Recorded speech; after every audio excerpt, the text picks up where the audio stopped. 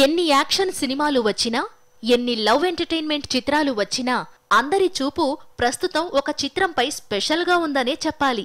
అలనాటి మహానటి సావిత్రి జీవితం గురించి తెలుసుకోవడానికి ఆ తరం నుంచి నేటి తరం వరకు అందరూ చాలా ఆతృతగా మహానటి సినిమా కోసం ఎదురు చూస్తున్నారు అయితే సినిమాలో కేవలం సావిత్రి లైఫ్ మాత్రమే మనకు కనిపిస్తుంది అంటే పొరపాటే. ఆ కథ పక్కన మరో లవ్ స్టోరీ కూడా కనిపిస్తుంది. సమంత విజయ్ దేవరకొండ సినిమాలో ముఖ్యమైన పాత్రల్లో కనిపించనున్నారు. ఇటీవల వారికి సంబంధించిన స్టిల్స్ కూడా రిలీజ్ అయ్యాయి ముఖ్యంగా నేడు రిలీజ్ అయిన ఒక పోస్టర్ మాత్రం అద్దిరిపోయిందని చెప్పాలి. బ్లాక్ అండ్ వైట్ కాలంలో ఉండే యువజంటల మాదిరిగా సమంత విజయ్ కొంచెం స్టైల్గా నవ్వుతూ కనిపించారు.